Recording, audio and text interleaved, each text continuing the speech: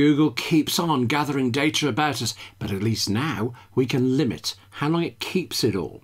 This tip will show you how to stop Google hanging on to your web and app history. Hello, I'm William Gallagher for Apple Insider. Here's how to make Google automatically delete data it has about you. And even if you've never cared what Google figures out, follow these steps anyway. Because when you actually see what Google knows, it can be quite creepy. Start by going to the website myaccount.google.com.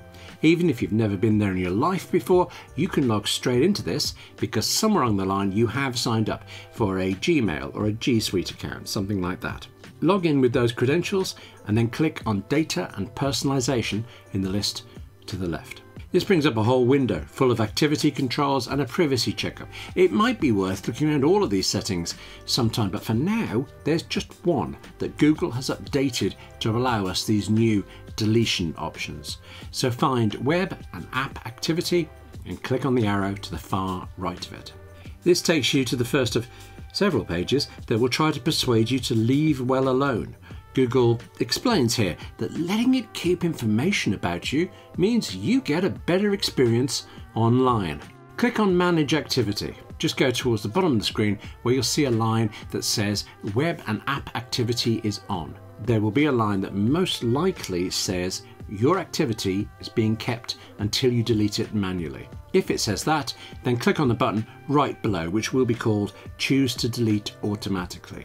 You can continue to let Google keep everything forever, or rather until you think to come back here to delete it manually. You can choose to have Google automatically delete the data it holds on you after 18 months, or you can have Google automatically delete your da its data about you after three months.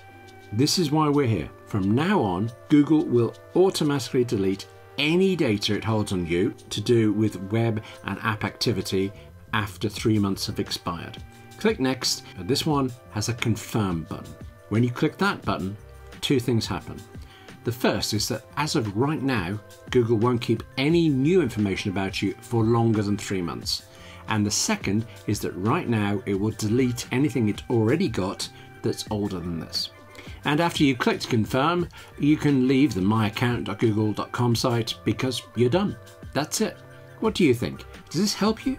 Are you creeped out by the details Google shows of your activity? Let us know in the comments below. Hey everyone, did you guys like that video? Be sure to click on that like button so we can create content that we know that you guys want to see.